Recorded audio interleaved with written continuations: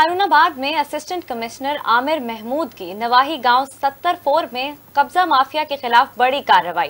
साढ़े सोलह एकड़ सरकारी रकबा वागुजार करवा लिया और मुलजमान के खिलाफ मुकदमा दर्ज कर दिया।